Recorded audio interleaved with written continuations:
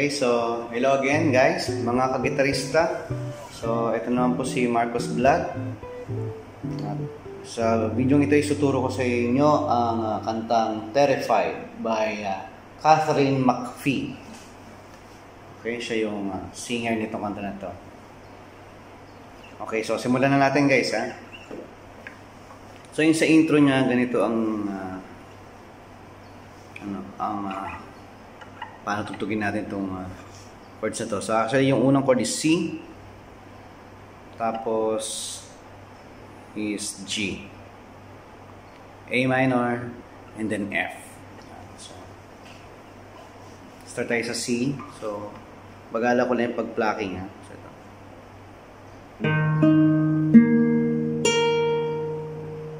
Isa pa.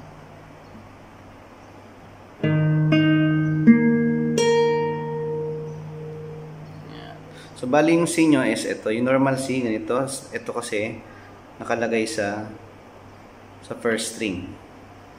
Okay? So, first string, third fret. So, para makuha tong note na to. So, bali ito is G note on capo. Okay? So, kaya ganyan ang tunog niya kasi nakakapo tayo sa second fret. Ayan, mapapansin nyo. Ayan. Isa pa, ha? Yan.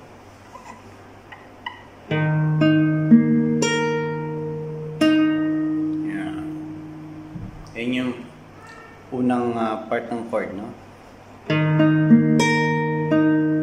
Yan. So, bali yan. So, so thumb.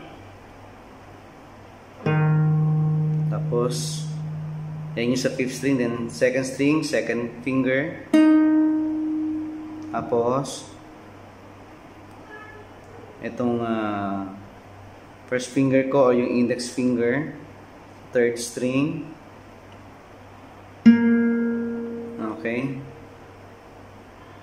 Then yung ring finger ko which is ito.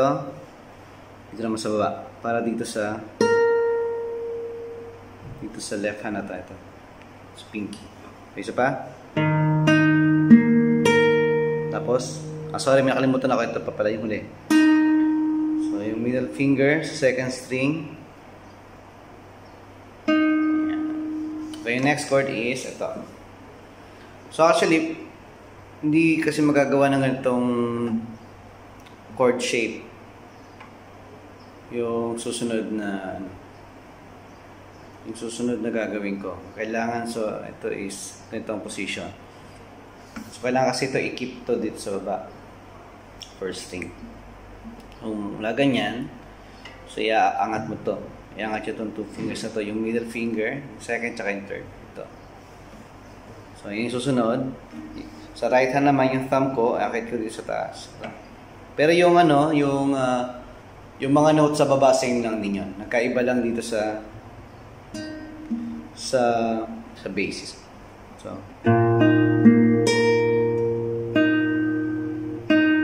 yan. So, yung sa G, twice naman ito na gagawin. Natutugtugin. So,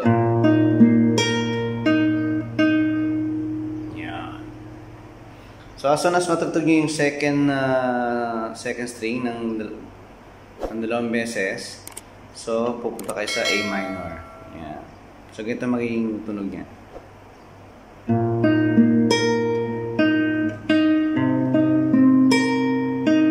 Yan. Kuha ba? Kuha? Isa pa? Oh, sorry. And release. And then yung finger sa yung thumb sa right hand ibaba. Then Yeah. So strum to. So ito is, is F major 7.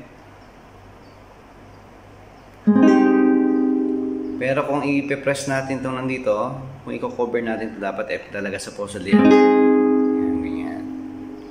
So medyo hirap lang sa inyo yan. So pwede na rin to. So isa pa, ah, ulitin ko.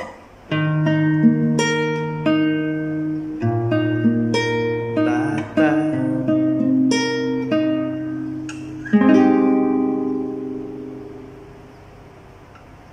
Alright. Yeah. Mas pasok talaga siya pag F kasi F rin to, F din to. Swak yung tunog niya. Ah, octave. So, yung octave means, uh, ano ha, uh, yung distance niya nung from F to F by 8. So, nakano sila? 8 notes from first degree till 8 degree. Yun yung distance nila. Tapos yung actually sub, sa verse, ganun din kasi ang ginagawa nung narinig ko sa sa MP3 ko. Okay? Pero mahirap kasi talagang gawin niya. So gawin niya lang yung strumming niya lang. C, tapos G,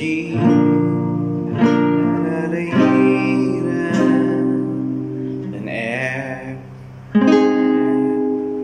Pwede nyo gawin to. So, tatlong option. Pwedeng ito, pwedeng F, ito. Pero hindi nyo maiwasan tamaan to. So, yan. Pasok pa rin yan. No? B7 or ito. Ito yung medyo challenging. Sorry, apat pala. Or pwedeng ito. Yan yung bar. Naka full bar yan. O, ito. So, para siyang C. Pero, kita nyo, pansin nyo. Di ba ito yung C. So, kung F, ito yan. Tapos nakamute lang yung first string sa baba. Isa pa. Na, C, G, A minor. Yan, ano natin yung magandang angulo. Ayan. Na, para makita nyo. Na, then, E. Yan, mas pasok to, mas okay to. Ayan. Kasi from A minor, kita nyo. So, ang gagawin nyo, ito yung common tone. So, i-keep nyo lang yan dyan. Huwag nyo lang tanggalin. So, from A minor, then, yung three fingers nyo na lang ang mag-shift. Pause. Second finger here. Yan, yan. Then, yung, yung two fingers nyo sa taas. Yan. Tapos, balik ulit sa C. So, from this chord, release to. To, ilagay nyo sa taas yung middle finger. Ayun na, balik ulit. Okay? So, sa verse, pwede nyong gawin to ng normal yung ito. Pwede naman. Kung sinasabi ko lang yung sa intro lang kasi nito, medyo mahirap na. So,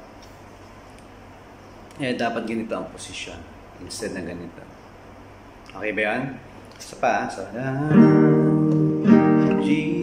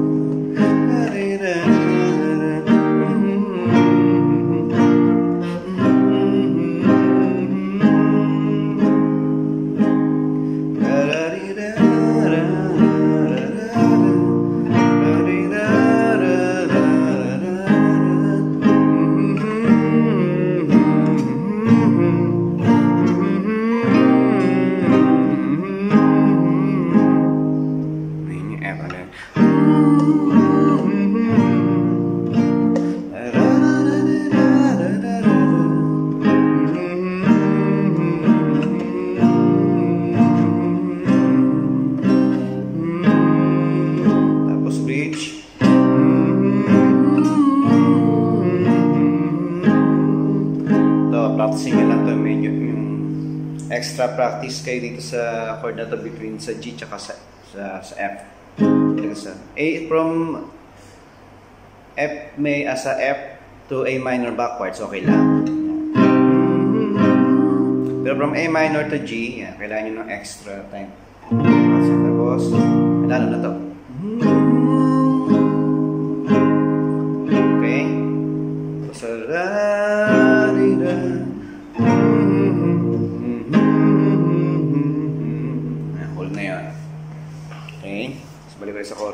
Siblings from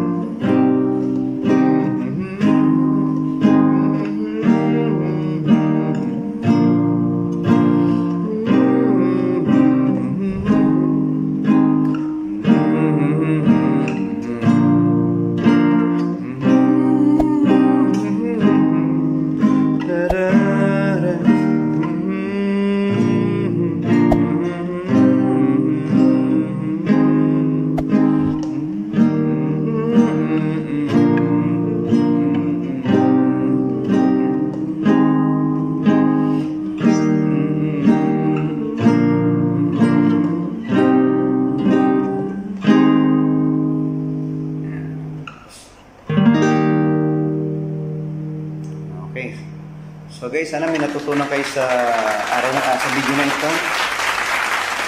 Um, so, practice makes progress. Okay? So, tiyaga-tiyaga lang. So, walang tiyaga, walang nilaga.